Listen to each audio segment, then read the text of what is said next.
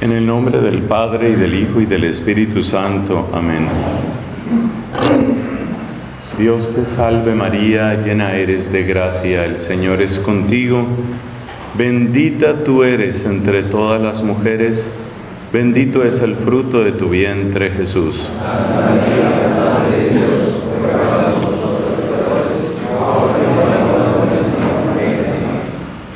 En el nombre del Padre y del Hijo y del Espíritu Santo. Amén.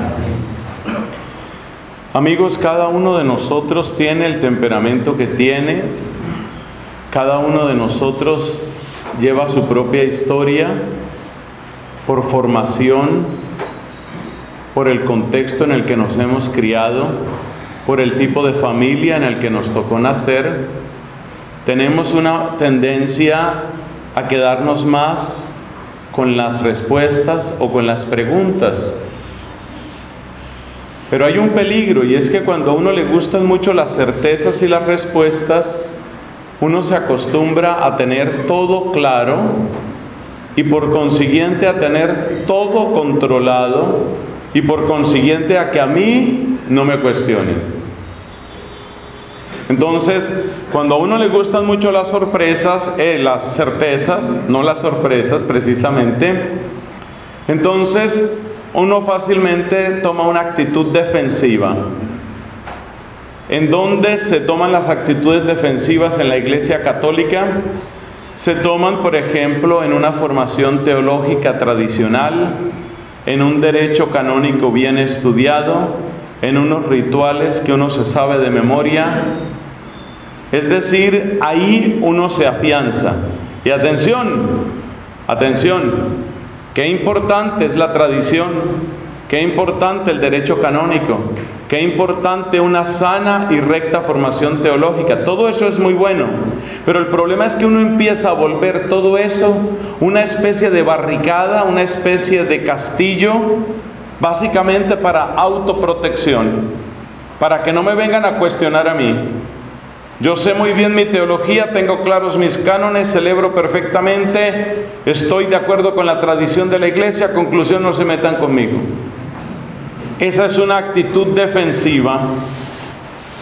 Es difícil predicar esto que estoy predicando porque muy fácilmente puede parecer que estoy despreciando esos elementos, lo cual es totalmente falso. De hecho, he sido profesor de teología fundamental y dogmática basado enteramente en Santo Tomás de Aquino con los necesarios complementos. Es decir, mi formación teológica es lo más clásico, lo más tradicional que te puedas imaginar. Profesor de latín durante no sé cuántos años. De hecho, cuando consulto la suma teológica voy siempre al original en latín. Y lo mismo puedo decir del derecho canónico y de la liturgia de la iglesia. Es decir, el problema no es que uno ame o no ame esas realidades, sino que es que uno las convierte, repito, como en una especie de castillo, como en una especie de búnker, una especie de fortaleza, para desde ahí señalar al que celebra mal la liturgia, señalar al que está fuera del derecho, señalar. Esa es la actitud que le resulta tan fastidiosa al Papa Francisco y que por eso la está denunciando continuamente, sobre todo con dos palabras, clericalismo y rigorismo. Entonces, cuando a uno le gustan demasiado las respuestas y las certezas, y no quiere saber mucho ni de preguntas, ni de dudas, ni de matices, ni de incertidumbres, entonces uno convierte todo ese tipo de lenguaje, lo convierte en una especie de fortaleza, en una especie de castillo y desde ahí nadie me mueve. Ahora veamos qué sucede en el otro caso. Hay otras personas que tienen un mayor gusto por las preguntas y por el cuestionamiento, son descontentos, sienten escepticismo, ven lo ridículo que a veces sucede en las altas esferas del poder y entonces prefieren la opción de las preguntas. Pero cuando uno prefiere la opción de las preguntas, muy fácilmente toma una actitud de calificar de dogmático a todo aquel que simplemente tiene una teología sana. Entonces el que enseña la teología como es es dogmático, el que predica la moral como es es rigorista, el que celebra la liturgia como es es tridentino y así nos vamos llenando de etiquetas los unos con los otros. ¿En qué se siente fuerte? El que se afianza en las preguntas, ¿en qué se siente fuerte? Se siente fuerte en muchas de las actitudes del Jesús histórico. Y por consiguiente va a argumentar continuamente que el pueblo, un pueblo que está más en la cabeza que otra cosa, el pueblo eh, prefiere tal cosa o el pueblo no nos entiende o el pueblo es decir, se autonombra embajador del pueblo. Curiosamente, el tal pueblo suele tener actitudes mucho más conservadoras de lo que quisieran los que se nombran embajadores de ese pueblo. Esto se nota especialmente en cosas tan sencillas como por ejemplo el hábito o el vestido clerical. La verdad se ha dicha en todas partes donde yo he estado, nuestra gente prefiere ver al sacerdote vestido de sacerdote, punto. Que eso puede tener incomodidades para nosotros, pues dímelo a mí. Que, puede tener incomodidades, que a veces es difícil, que a veces es materialmente imposible, porque yo también he estado en distintos climas y circunstancias. Está bien, admitamos la parte nuestra. Pero no digas que eres embajador del pueblo y que el pueblo prefiere eso porque eso no es cierto. En algún tiempo en España había todo un conflicto con el hecho de que muchas imágenes de la Virgen están muy adornadas con brocados, hilos de oro, joyas preciosas. Y entonces la gente decía que eso distancia a la Virgen del pueblo. Falso completamente. La gente sencilla se siente feliz con su virgen engalanada. Y si pudieran darle más diamantes y más rubíes, se los daban sin problema. Sin problema. Es decir, el conflicto de la gente no está en eso. Pero el que va en esa tendencia, que a veces es la de la teología de la liberación, que a veces es lo que llamamos la izquierda, que a veces es lo que llamamos la progresía, se autonombra embajador del pueblo y considera que sí está representando al pueblo y nosotros sí somos la iglesia de la base. Entonces figúrate en dónde va a parar el pueblo de Dios si uno se considera la iglesia de la base y los otros se consideran la iglesia de la ortodoxia. Y cada uno juzgando al otro. El de la base mira al otro simplemente porque está enseñando lo que es. Lo mira como si fuera un dogmático impotable con el que no se puede hablar, intransigente, inmisericordia. Y el otro mira al de la base, lo mira como una especie de hippie que no sé por qué lo ordenaron. Fuente de todo conflicto, heterodoxo, problemático, sospechoso, etcétera. ¿De dónde han surgido esas polarizaciones en la iglesia? De lo que hemos dicho desde el principio de este día. Es que Jesús resulta que es pregunta y es respuesta. Pero algunos de nosotros, por nuestro, la manera como trabaja nuestro cerebro, por la manera como trabaja la cabecita o el corazoncito, algunos de nosotros tenemos una simpatía particular por el aspecto, llamémoslo así, beligerante, revolucionario, novedoso, inesperado, sorpresivo de Cristo. Otros en cambio ven en Cristo el Cristo de siempre, ayer, hoy y siempre. Dicen los cartujos, stat crux dum volvitur orbis. La cruz permanece en pie mientras el mundo da y da vueltas. Entonces, ahí vienen las divisiones en la iglesia. Exactamente de eso vienen, que cada uno va afianzando su punto de vista. Y entonces ya yo convierto la teología, la convierto en una especie de ladrillo que tengo aquí en la mano. Aquí tengo la suma teológica. Y entonces aparece por ahí un fulano con una teología rara, le lanzo. Secunda, secunde. Y le cae su suma teologazo al otro. Ay. Y entonces el otro cuando ya se repone dice, pero Jesús no usaba clergyman. Y le lanza el clergyman al otro. Y ahí nos la pasamos peleando. Mira, ¿qué son las bienaventuranzas? Llegar a las bienaventuranzas, saber llegar a las bienaventuranzas, yo pienso que es una de las tareas que uno tiene que hacer en la vida. De por Dios, queridos sacerdotes, de por Dios, antes de morirse hay que llegar a las bienaventuranzas. No permitan ustedes que les llegue la muerte sin haber llegado a las bienaventuranzas. Al fin y al cabo, los que estamos aquí creo que todos anhelamos la bienaventuranza eterna. Pues para llegar a la bienaventuranza hay que llegar a las bienaventuranzas. ¿Y qué queremos decir por llegar a las bienaventuranzas? Permítanme que trate de explicarlo.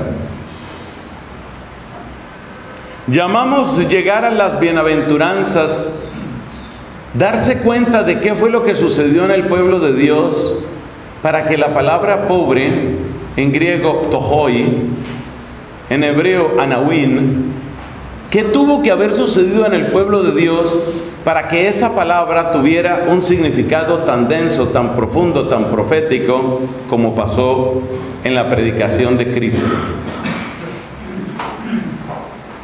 Que el Espíritu Santo nos ayude a todos que pueda yo hablar según inspira el Señor y que los oídos de todos estén dispuestos.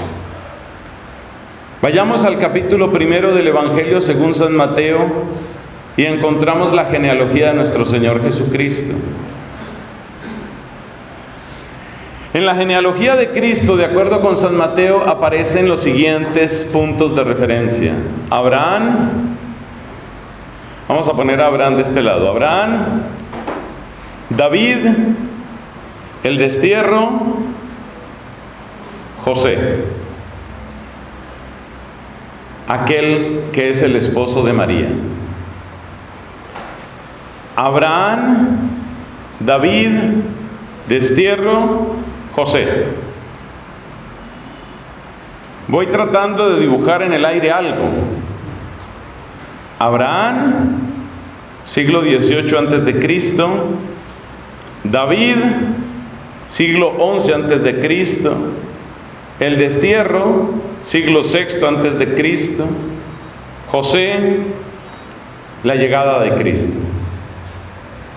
Esos son los puntos básicos. De modo que Mateo, al hacer la distribución de las genealogías, dice, son 14 las generaciones de Abraham a David. 14 las generaciones de David al destierro. Y 14 las generaciones del destierro a Jesús, el hijo de José. El número 14, por supuesto, tiene un significado bíblico. Es un 7 duplicado y el 7 es el número de la perfección para la Biblia. ¿Por qué Mateo enfatiza esos puntos de la historia del pueblo de Dios? Una vez más le repito el dibujito para que vaya siguiendo el dedo. Abraham, subimos hasta David, bajamos profundamente hasta el destierro y luego subimos hasta llegar a Jesús. ¿Por qué hay que señalar a David? Porque David, el reinado de David, fue aquel tiempo en el que el pueblo de Dios experimentó a Dios reinando. Es decir, cuando Jesús, nuestro divino Salvador, nuestro bendito Señor, Dice en el Evangelio la expresión Basilea tu Theú, dice el griego, el reinado de Dios, o como se suele traducir, reino de Dios, en San Mateo, reino de los cielos. Cuando Jesús dice reino de Dios, lo que está en el inconsciente de la gente, lo que está grabado en el corazón de ellos es el tiempo de David. Es decir, David es el punto más alto. ¿Por qué? Porque después de David tenemos a Salomón con el que entra de lleno la idolatría en Jerusalén. tenemos a Salomón con el que ya se anuncia el colapso del reino, porque su hijo Roboam es un inepto, es un caprichoso, es un narcisista, absolutamente incapaz de la tarea que le correspondía. Y en manos de Roboam se fractura el pueblo de Dios, reino de Israel, reino de Judá. Unos tres siglos después colapsa el reino de Israel, invadido y absorbido por los asirios. Y unos cinco siglos después va a suceder el destierro a Babilonia. O sea que el punto cumbre es el reino de David. ¿Por qué? Porque todo empezó con Abraham. ¿Y qué le dijo Dios a Abraham? Le dijo que le iba a dar una descendencia, le dijo que a través de él iba a bendecir las naciones, le dijo que iba a darle una tierra. ¿Y en qué momento el pueblo de Dios toma plena posesión de esa tierra? En tiempo de David. Antes no. Antes ya habitaban, por supuesto que habitaban desde la época de Josué. Eso significa siglo XIII, siglo XIV antes de Cristo, habitaban ahí. Pero habitaban en pleno conflicto, en guerra permanente con los habitantes de la zona que eran los filisteos en sus distintas tribus. Ahí estaban entonces los moabitas, los hititas, los jebuseos, todos esos que de un modo conjunto llamamos filisteos. O sea que ellos sí llegaron, después de salir de Egipto llegaron allá, pero ahí no se habían cumplido las promesas de Dios a Abraham porque estaban en esa tierra, pero en esa tierra todavía no la podían llamar suya porque todavía estaban en continua disputa, en continua guerra. ¿En qué momento se acaban esas guerras? ¿En qué momento ha puesto Dios paz en sus fronteras y sacia con flor de harina a su pueblo? Lo que dice el Salmo 147, que es un himno que proclama la gloria del reinado de David. ¿En qué momento sucede? Pues precisamente en el tiempo de David. O sea que el reinado de David es el punto más alto y el pueblo de Dios vio en el reinado de David, vio a Dios reinando. Es decir, en el reinado de David el pueblo tuvo la experiencia de un Dios que reina. Porque David, aunque era el rey, pues era dócil, dócil a Dios. David, como me gusta decir, no era tan pastor que se le olvidara ser oveja. Y David no era tan rey que se le olvidara ser súbdito. Cometió errores, cometió pecados, es verdad, están en la Sagrada Escritura, pero lo cierto del caso es que en la época de David, en los 33 años que David reinó en Jerusalén, el pueblo pudo experimentar bendiciones adentro y males afuera. Él pone paz en tus fronteras y te sacia con flor de harina. Ese ideal que ya surgía desde la época de Josué, ese ideal que se llama prosperidad, seguridad y fecundidad, que es lo que anhela todo ser humano, esos tres grandes anhelos del ser humano se hicieron realidad en el tiempo de David. Por eso ese es el punto más alto. Y por eso a Jesús lo llaman hijo de David. No lo llaman hijo de Salomón, ni hijo de Roboam, ni hijo de Ezequías, ni hijo de Josías. Lo llaman hijo de David, porque David es la referencia. Además, David es el que recibe la promesa. Segundo libro de Samuel capítulo 11. Consolidaré tu casa después de ti. Es David el que recibe la promesa y por lo tanto es una bendición salida de las entrañas de David la que podrá confirmar que Dios es fiel. Por eso llaman a Jesús hijo de David. Hijo de David viene a ser un sinónimo de Mesías. Este es el ungido de Dios.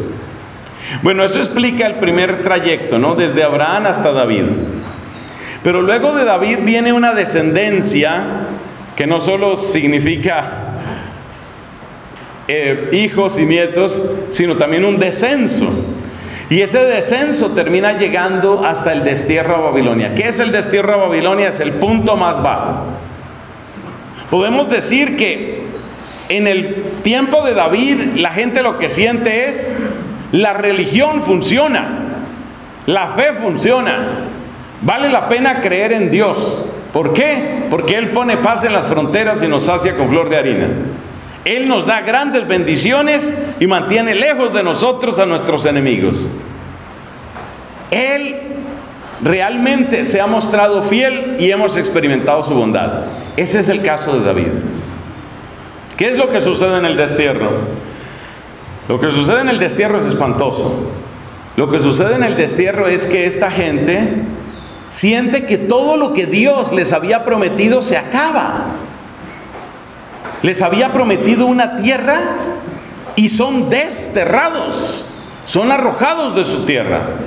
Les había dicho que un descendiente de David estaría en el trono y resulta que al rey que estaba, pues le sacan los ojos después de haber degollado en su presencia a sus propios hijos. Se supone que Dios iba a derramar sus bendiciones sobre su pueblo y previamente, en los meses previos al espantoso destierro, esta gente pasa por las peores angustias y necesidades hasta caer en el canibalismo. La situación es tan absolutamente desesperada que caen en el canibalismo. El hambre es insoportable, la angustia es enloquecedora, las fuerzas no están a la altura de los desafíos. De manera que ahí queda como en contradicción todo lo que Dios les había dicho. Parece que todo está perdido. Entonces fíjate la manera como toca leer la genealogía de Mateo. Hay una promesa, hay un momento en el que creemos que esa promesa se ha cumplido, eso lo llamamos el punto más alto. Hay un momento en el que no sabemos qué pasó con las promesas, todo parece contradicho y eso lo llamamos el punto más bajo. Ese es el tiempo del destierro. Y luego viene Jesús. Es natural que cuando llega Jesús, ¿qué es lo que la gente espera que va a suceder? Pues que vuelve David. Por eso lo que ellos están esperando es un reinado al estilo de David. Solo que David frenó, puso un límite a los filisteos, ahora se supone que Jesús va a poner un límite a los romanos. Ahora se supone que vamos a recuperar nuestra tierra. Ahora se supone que vamos a volver a recibir bendición. Ahora se supone que nuestros enemigos quedarán afuera y nosotros seremos restaurados. La prueba de que eso estaba profundamente incrustado en el corazón del pueblo de Dios está en el capítulo primero de Hechos de los Apóstoles, en el pasaje que nos cuenta la ascensión de Jesús. Póngale cuidado a esto. Jesucristo ha sido muerto en la cruz. Jesucristo resucitado se les aparece. ¿Y qué le preguntan ellos al resucitado? O sea, ¿qué le preguntarías tú a un muerto que resucita? Esa es una buena pregunta. O sea, se te aparece alguien. Por ejemplo, el padre que te confesaba de niño. Se te aparece. Así. Y te habla. Eso está muy miedoso. Bueno, un resucitado, es el resucitado que se les aparece. Y esta gente que le dice a Jesús, ¿es ahora? ¿Cuando vas a restaurar el reino? O sea, ellos seguían mirando a Jesús como una especie de jefe, como una especie de general, como quien dice, este que ya resucitó, ya no le pueden hacer nada, este hasta paredes atraviesa. Es decir, para ellos en ese momento Jesús era una especie de Superman o de Super Superman. Y este Jesús maravilloso, al que ya no le entran ni las balas ni las jabalinas, al que nadie le puede hacer daño, este es el general que de un modo nuevo nos va a dar la victoria para que ahora sí se consolide el reino de Dios. Ese pasaje que nos demuestra, nos demuestra que esta gente estaba obsesionada con esa idea. Es decir, la idea que ellos tenían era, vuelvo a dibujar mi esquema, Abraham, subimos a David, bajamos al destierro, después del destierro ellos no levantaron cabeza. Daniel capítulo 3.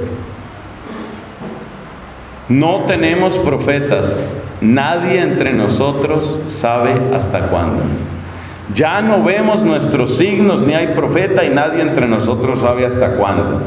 O sea que realmente ellos sienten que están, como se dice en mi país, no sé si eso se aplique por aquí, están en la inmunda. Realmente están en lo peor de lo peor y no han salido de ahí. Entonces, ¿cuál es la imagen de ellos? Abraham, David, el destierro y ahora con Jesús subimos hasta David o más. Eso era lo que ellos imaginaban. Jesús les responde hablando de la llegada del Espíritu Santo. No os corresponde a vosotros saber los plazos y las fechas que ha designado el Padre en su sabiduría. Permaneced en oración, no os apartéis de Jerusalén, suplicad que se cumpla la promesa del Padre y entonces ya ellos empiezan a hacer caso y empiezan a orar, orar, orar y entonces llega el Espíritu Santo y ya la cosa cambia, ya no van a buscar el reinado de David, ahora buscan algo diferente. Pero toda esta historia demuestra algo muy importante y es que para ellos la referencia era el reinado de David. Todo esto demuestra que para ellos el punto alto era David. Y todo esto demuestra que ellos imaginaban el reino de Dios en términos de lo que había sucedido cerca de mil años antes, David estaba reinando en Jerusalén hacia el año 1000 antes de Cristo. Y esa era la manera como ellos imaginaban el reino de Dios. Pero resulta que entre David y el hijo de David, que es Jesús, está el destierro. ¿Qué produjo el destierro? El destierro fue algo así como pasar por la muerte. El destierro fue algo así como beberse el cáliz de la muerte. El que quiera saber cuál es el sabor de la muerte, lea el libro de las lamentaciones. Todo el libro de las lamentaciones, sus cinco capítulos, están dedicados a eso, el estudio del sabor de la muerte. De manera que ellos han pasado por la muerte, han pasado por la muerte. Una muerte larga. No es solamente salir de Jerusalén, es tener que servir a los caldeos, es tener que ayudar en la construcción de templos idolátricos, es tener que ayudar en la construcción de una ciudad dedicada a ofender a Dios. Es como tomar a seminaristas o tomar a novicias y dedicarlas a construir prostíbulos se sienten humillados, ridiculizados, aplastados, triturados. Y el sabor de la muerte es lo que se lee en el libro de las lamentaciones. Realmente ellos sintieron que morían. Y de hecho murieron, quiero decir, de hecho muchas de sus ideas, muchas de sus creencias firmes murieron en Babilonia, murieron en la época del destierro. La palabra clave, parece que la palabra clave, la que puede iluminar toda esta meditación, hermanos, es la palabra decepción.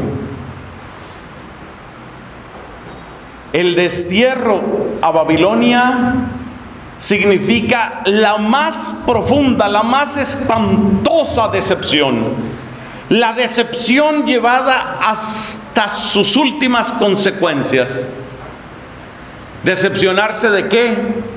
Decepcionarse de la casa real, decepcionarse de los falsos profetas, decepcionarse de los sacerdotes, decepcionarse de ellos mismos. La palabra decepción es esencial. Hay dos profetas de los llamados mayores que son contemporáneos al destierro, profetas que hay que leer con mucha atención para encontrarle el sabor a lo que aconteció entonces y especialmente para encontrar la transformación que sufrió el alma del pueblo de Dios con el destierro.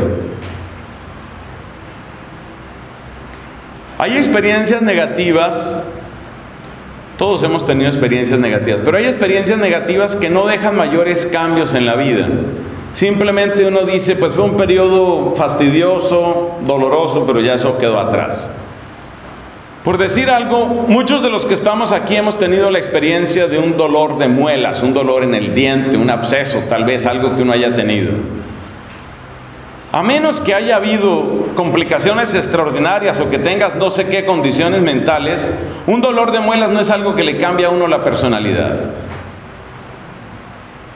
Hace unos seis años, o tal vez un poco menos, como unos cinco años, me sucedió a mí mismo que por diversas circunstancias me resultó un absceso aquí del lado derecho, con hinchazón, con fiebre, con dolor, con una incomodidad terrible, con un tratamiento largo. Tuvieron que hacerme esto que llaman tratamiento de raíz o de conductos. Eso fue una cosa, entre otras, bastante aburrida, bastante dolorosa. Pero yo no creo que ese dolor me haya cambiado la personalidad. Ya pasó, ya quedó atrás, ya no pienso más en eso. Y por lo pronto, ya en este momento, por ejemplo, ¿en qué pienso? ¿Qué nos darán de almuerzo? Sí, es decir, ya uno ya no tiene las preocupaciones de que si el diente funciona, que si no funciona, ya uno no piensa en eso, ya simplemente que el diente haga su tarea y se acabó. O sea, hay dolores que no lo cambian a uno, pero hay experiencias que son tan profundas, que son tan traumáticas, que sí lo cambian a uno. Hay dos laicos colombianos que son relativamente conocidos por experiencias muy duras que tuvieron. Uno es una señora de apellido Polo, Gloria Polo, que fue alcanzada por un rayo. Médicamente ella tenía que haber muerto. Están los datos científicos de cómo se quemó su cuerpo por dentro. Y de hecho, pues sobrevivió y entonces ella se dedica a dar testimonio de lo que significa una vida nueva a partir de esa experiencia. Yo sé que lo que le sucedió a ella tiene algo de milagroso y me parece que hace mucho bien con sus predicaciones. Quizás no todo lo que ella dice sea exactamente lo que yo diría en esas circunstancias, pero falta ver cuando me toque el rayo a mí. Porque es que uno antes del rayo es una cosa, ya después del rayo es otra, sobre todo con un peligro con un peligro y es que depende de las cantidades, la acción de la electricidad en un cuerpo depende de las cantidades de agua y de las cantidades de grasa, guion tocino, que uno tenga. Entonces no se sabe qué pueda pasar en un caso o en otro caso. Bueno, lo del rayo fue muy serio, muy, muy serio. O sea, realmente esta mujer ha debido morir. Otro caso parecido es el de otro laico colombiano llamado Marino Restrepo. Marino Restrepo tiene numerosos videos en internet contando de sus experiencias traumáticas, entre otras un secuestro en donde él sintió, me van a matar, aquí se acabó mi vida.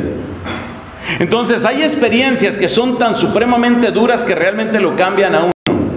El destierro fue una de esas experiencias y por eso decimos que en el destierro no solamente el pueblo de Dios conoció el sabor de la muerte, sino que en un cierto sentido en el destierro murió. Muchas cosas murieron en el destierro. Por ejemplo, ¿qué cosas? Pues muchas de las certezas que ellos tenían. Ellos estaban muy aferrados al templo, por eso digo que hay que leer Jeremías. Acuérdate cómo Jeremías se burla de ellos y les denuncia y dicen, ustedes no crean que por estar diciendo el templo del Señor, el templo del Señor, el templo del Señor, todo está salvo. Porque es verdad que el Señor se ha dignado morar en su templo, pero también es verdad que si ustedes profanan ese templo, ese ya no es el templo del Señor, y caerá el templo del Señor. Y por decir esas palabras, ustedes saben cómo atacaron a Jeremías. Una idea semejante tiene Ezequiel. Ezequiel es un personaje interesantísimo, porque Ezequiel era de familia sacerdotal. Ezequiel equivale un poco a lo que sería algo así como un acólito muy cercano pero no acólito de cualquier templo, sino del templo de Jerusalén. Ezequiel, lo mismo que Isaías, Isaías también era de familia sacerdotal y real. Esos profetas son claves porque esos profetas conocieron de cerca los niveles de corrupción de la clase política y de la clase religiosa de la época. Ese pasaje en el que Ezequiel describe las infidelidades de los sacerdotes, cómo los sacerdotes vuelven de ofrecer el sacrificio en el altar, el inmenso altar que había mandado hacer Salomón, un altar que tenía metros de largo, donde se ofrecían las víctimas en honor de Yahvé, los sacerdotes volvían de ofrecer los sacrificios a Yahvé y en las sacristías, a unos metros, en las sacristías del templo, jugaban a la astrología y a ver qué mensajes les mandaban las estrellas y los dioses, los sacerdotes. Eran sacerdotes cargados de superstición, que simplemente se habían convertido en funcionarios que vivían de los sacrificios, pero ellos ya no creían en nada. Eso lo vio Ezequiel. Entonces, eso quiere decir que en el destierro se murieron muchas cosas. Y porque se murieron muchas cosas, por eso decimos que la palabra fundamental en el destierro es la palabra decepción.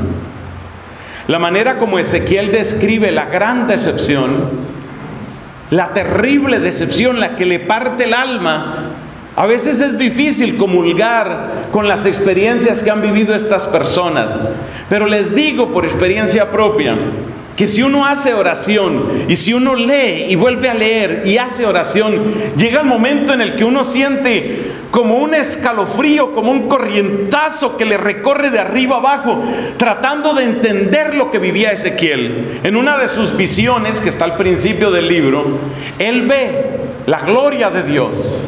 Es decir, la manifestación del Dios eterno con su poder y sabiduría en medio de la creación. Y luego ve cómo la gloria de Dios se va del templo. Eso, eso es casi imposible de traducir a nuestro lenguaje. Porque nosotros ya estamos en una economía de salvación diferente. Para que algo así sucediera, tal vez habría que pensar algo así como una profanación eucarística, una cosa de ese tamaño. Lo que a nosotros nos podría doler, una profanación eucarística. Eso es lo que siente Ezequiel. La gloria de Dios se fue, se fue Dios. Es decir, Dios, Dios ha roto la alianza.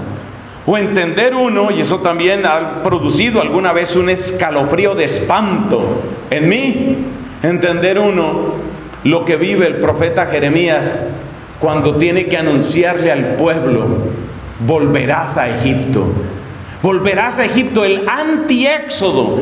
Es decir, todo lo que Dios hizo lo va a deshacer ahora. Algo parecido a lo que sucedió en el diluvio.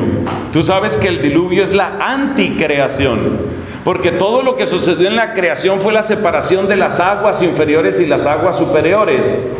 Dentro de la cosmología hebrea, la tierra firme es algo así como un sándwich que queda entre las aguas inferiores de donde vienen los ríos y de donde brotan los mares y las aguas superiores, de donde cae la lluvia. ¿Y qué es el diluvio? El diluvio no es solamente agua que cae, el diluvio es agua que brota. Lee la Biblia, Génesis capítulo 6 es eso creo. Lee la Biblia y ahí aparece.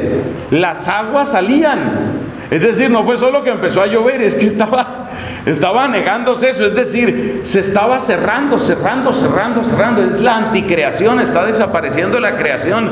Y finalmente lo que queda es un pequeño huequito y en ese pequeño huequito lo que queda es el arca. Lo que queda es el arca.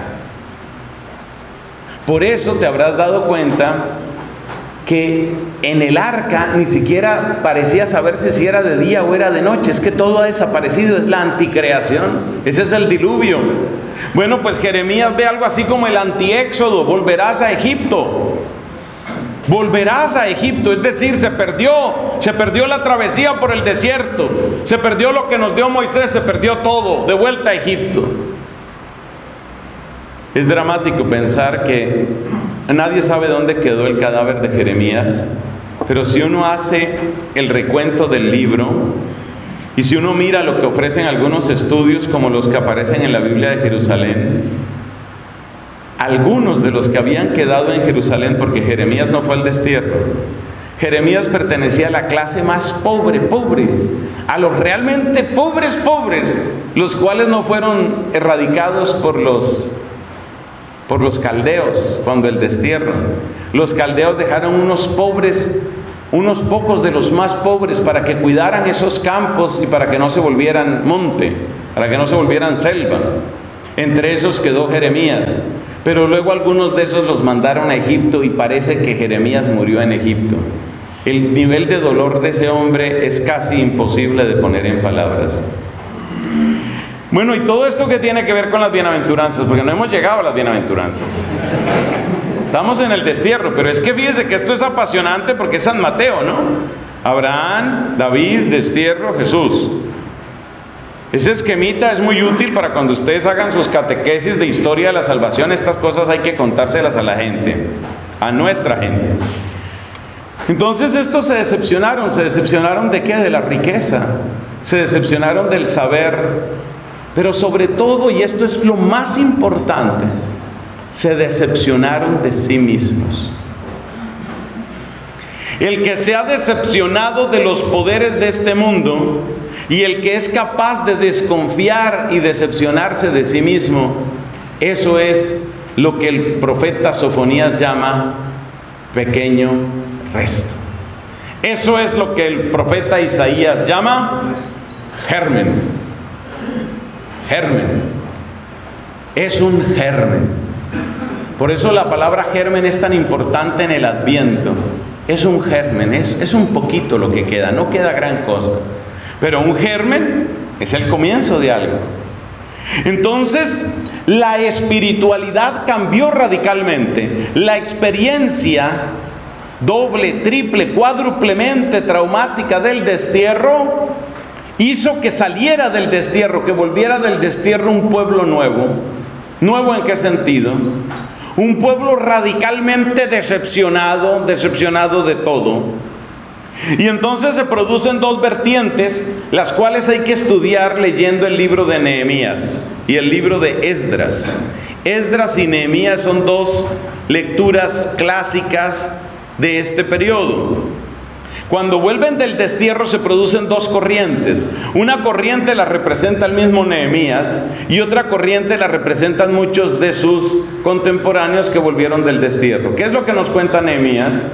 Que después del destierro, frustrados, decepcionados de todo, algunos simplemente se dedican a vivir para sí mismos hacerse más o menos su vida a su manera, se encierran en sus intereses, más o menos como lo que pasó después de la Segunda Guerra Mundial, haz de cuenta eso.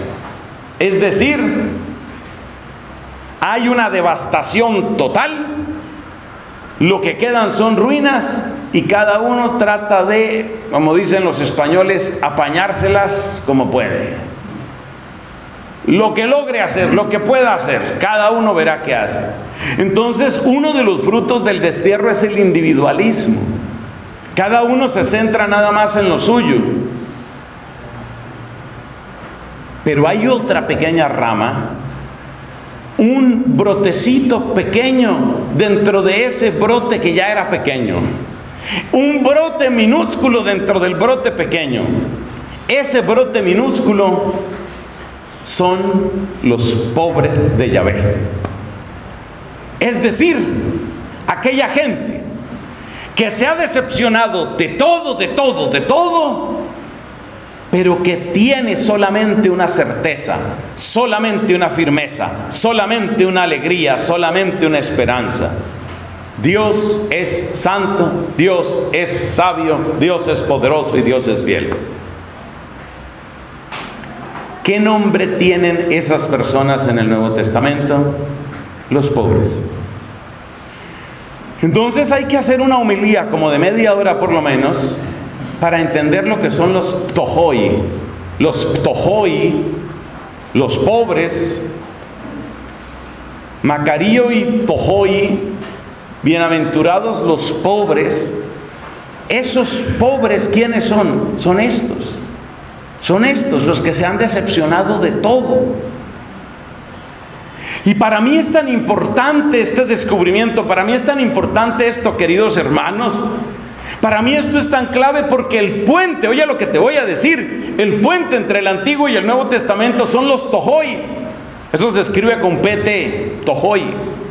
Los Tohoy, los pobres de Yahvé, son el puente entre el Antiguo y el Nuevo Testamento. Es decir, tú miras a un Nehemías lleno de celo por la causa de Dios, que sabe que Dios será fiel. Tú miras a un Esdras tirado en el suelo, postrado en oración, tratando de buscar el fuego de la palabra que hace tiempo no se proclama. Tú miras a un Esdras, sacerdote y escriba. Tú miras a un Nehemías, laico. Tú miras las actitudes de estas personas y tú miras a un viejito, viejito, bastante viejito él, llamado Simeón, y a otra viejita llamada Ana. Y miras a una parejita llamada, llamados José y María. Esos son los Tojoy. Hay una continuidad total entre ellos. Entonces el puente entre el Antiguo y el Nuevo Testamento son ellos. Es Isabel, es Zacarías. Eran justos. Claro que es muy interesante el caso de Zacarías y de Isabel, sobre todo Zacarías por la descripción que nos da San Lucas, porque Zacarías es el ejemplo de aquel que ha sido fiel. ¿Cómo se llama ser fiel a Dios en la Biblia? Se llama ser justo. Eran justos, dice San Lucas, no eran justos delante de Dios. Nicayo, eran justos delante de Dios. Entonces Zacarías era dicayos, era justo delante de Dios. Pero en medio de su justicia, Zacarías, Zacarías ya, ya, no le da más la vida, ya no le da más el corazón. Es decir, logró ser fiel, pero, pero se le extinguió hasta el último cuarto, se le extinguió hasta el último poquito, ya no dio más. Es decir, él alcanza la frontera del Nuevo Testamento, pero llega totalmente quemado. Por eso cuando le dice el ángel, tu mujer te va a dar luz un hijo. ¿Y yo cómo me aseguro de eso? Ya, ya no le da más. Ese es Zacarías, ya, ya no alcanza más. Y tú mira los otros personajes que te he mencionado. Mira, por ejemplo, a Simeón, ¿no? Había recibido un aviso del Espíritu Santo que no moriría sin ver al Mesías. Y también Simeón llega cansado, ¿no? Decimos en completas, ahora Señor, según tu promesa, puedes dejar a tu siervo irse en paz, porque mis ojos han visto a tu Salvador, a quien has presentado ante todas las naciones. ¿Qué cosa? Simeón, Simeón, ¿quién es? ¿Quién es Simeón? Es un tojos, es un pobre, es uno de los anahuín. Esos son los pobres. Simeón alcanza a llegar, alcanza a llegar. El caso de Ana, yo creo que yo soy una de las pocas personas en este continente que ha llorado por Ana, la hija de Fanuel de la tribu de Acer. ¿Sabes por qué? Porque si tú miras el destierro, la tribu de Acer se había acabado completamente. Esa tribu ya no existía. Esa tribu se acabó en el siglo VIII antes de Cristo. ¿Cómo es que quedan restos de la tribu de Acer en la época de Cristo? Es decir, esta mujer, y que ella no se disguste conmigo, era un fósil.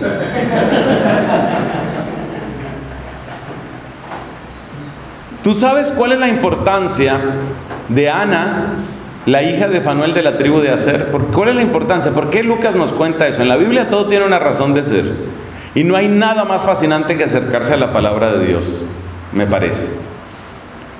¿Cuál es la importancia de Ana? Si tú examinas el Nuevo Testamento, oye lo que te digo, en todo el Nuevo Testamento, la única persona, así como me lo estás oyendo, la única persona de todo el Nuevo Testamento que pertenece a las tribus del norte, es decir, lo que era el reino de Israel, la única persona es ella. Qué impresión.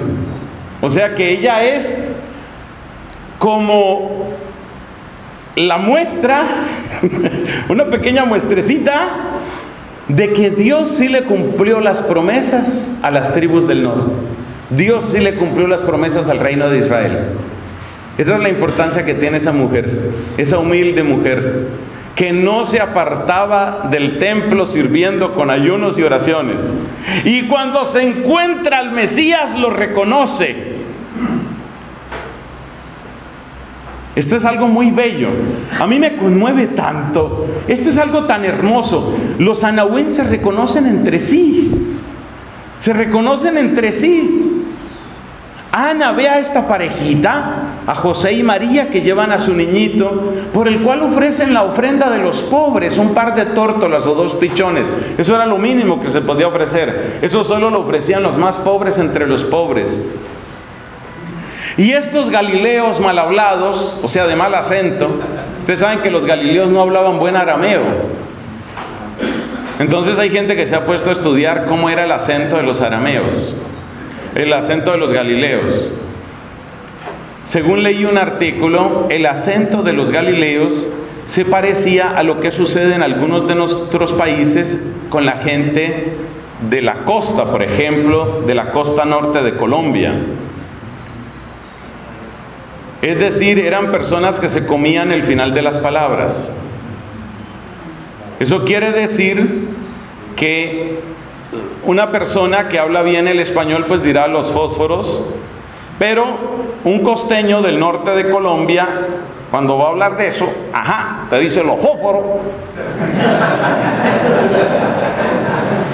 Oye, pásame los fósforos.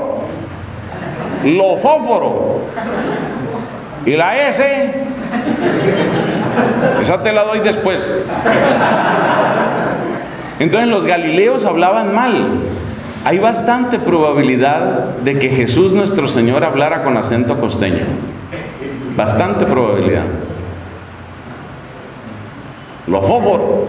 Entonces, estos galileos que se les ve la necesidad, que se les ve la pobreza, estos galileos humildes, esa muchachita con ese niñito que tenía 40 días de nacido, llegan ahí a presentar a su niñito, se les ve la pobreza y los anahuín se reconocen entre ellos.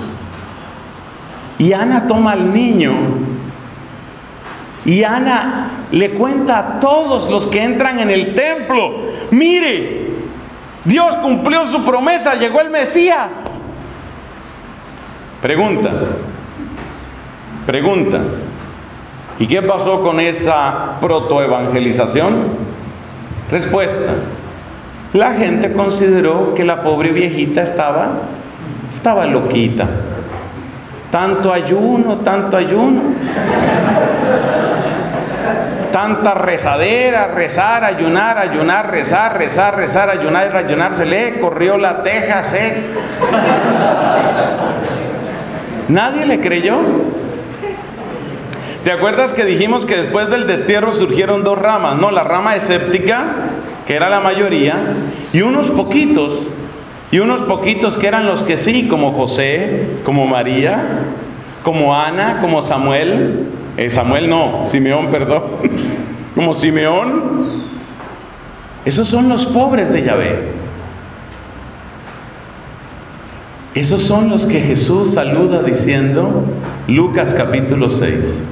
Bienaventurados vosotros, los pobres. Esos son los pobres. Los infinitamente decepcionados, empezando por decepcionarse de qué? De sí mismos. Nosotros empezamos esta meditación comentando cómo hay personas que tenemos una tendencia que nos gusten más las respuestas y otras personas a las que les gustan más las preguntas. A las personas que nos gustan más las preguntas, fácilmente nos llama la atención la tendencia, llamémosla revolucionaria de Cristo, cómo Cristo subvierte todo el orden, cómo Cristo es casi, diríamos, arrogante, pero por lo menos muy libre frente a la autoridad, todo ese tipo de cosas. Y sobre todo dijimos algo que a lo que quiero regresar ahora, mis hermanos. Dijimos que el origen de las divisiones en la iglesia, ¿cuál es?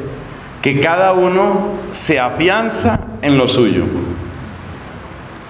Nosotros somos los de la liberación, nosotros somos los que sí conocemos al pobre, nosotros somos los que sí trabajamos por los pobres, nosotros somos los que estamos anunciando la iglesia del tercer milenio.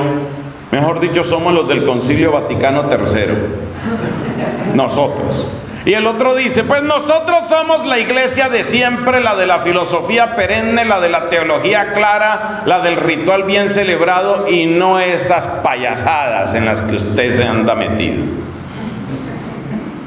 Cada uno afianzándose en lo suyo y por consiguiente considerándose autorizado para juzgar, criticar y hundir al otro. ¿Cuál es el remedio? Las bienaventuranzas. ¿En qué sentido? Imagínate una persona que puedo ser yo, que puede ser tú, que tiene por temperamento y por formación gran gusto por las respuestas, por la teología sólida, por las ideas claras, por el derecho canónico aplicado, ojalá con cierto rigor. Para algo existen las suspensiones, esas no sobran. Esas no sobran, esas tienen su lugar importante. Uno de esos curas que uno le dice, ¿usted cree que el derecho canónico requiere una reforma? Claro que sí, sobre todo la parte penal.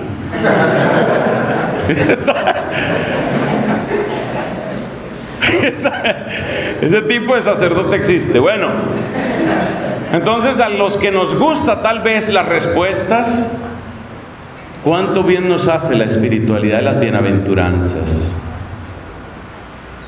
En medio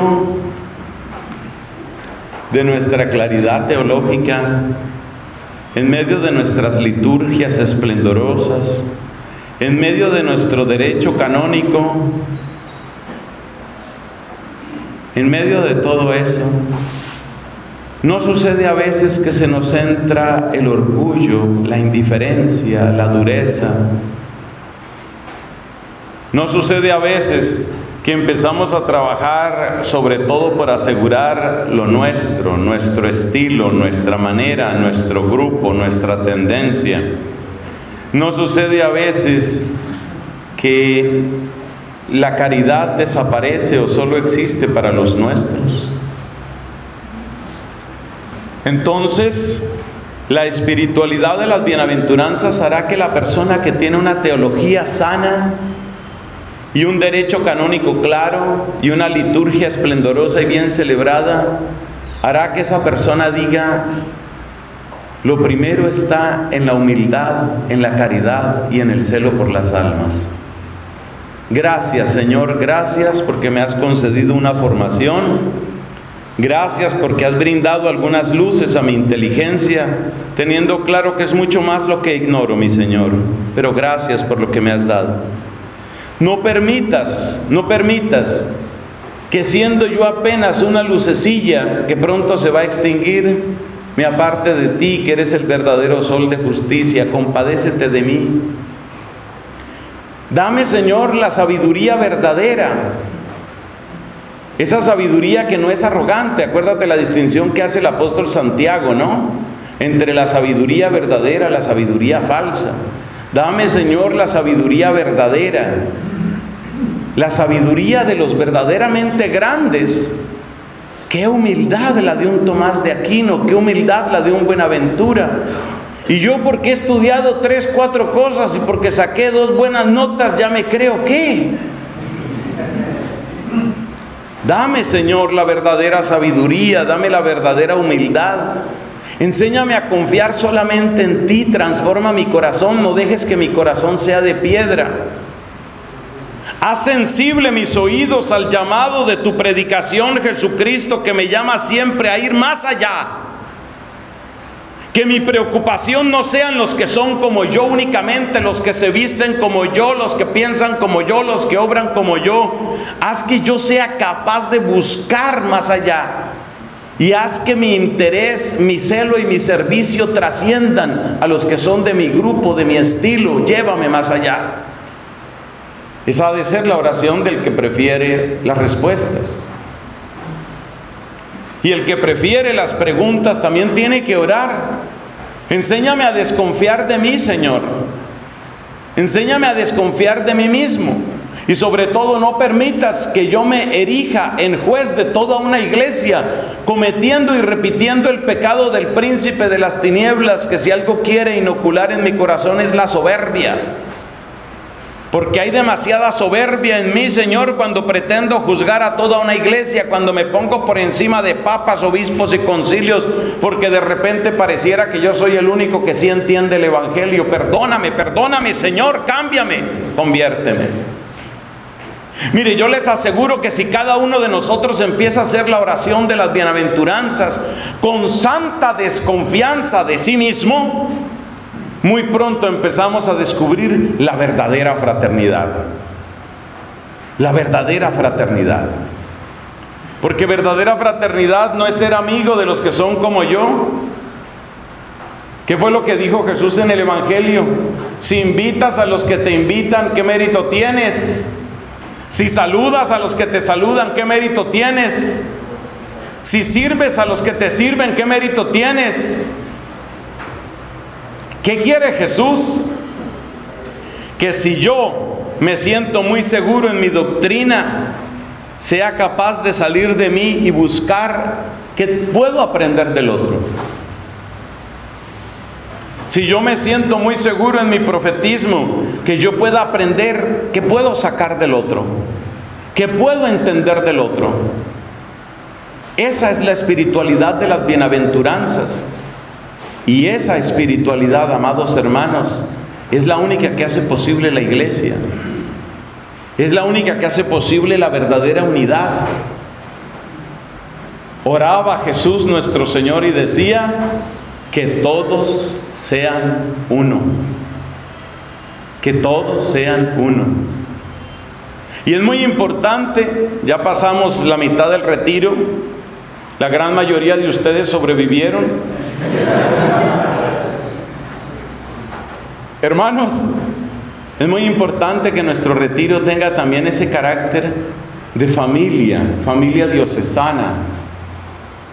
¿Cómo podemos descubrirnos? No con simple cortesía, no con simples ficciones y saludos, no nada más la palmadita en la espalda y qué, todo bien, todo, todo en orden, sí, sí, muy bien. No, no, no solamente eso. Algo mucho más profundo, algo mucho más de corazón. Algo que brote de una experiencia de saber solo Jesús es el Señor.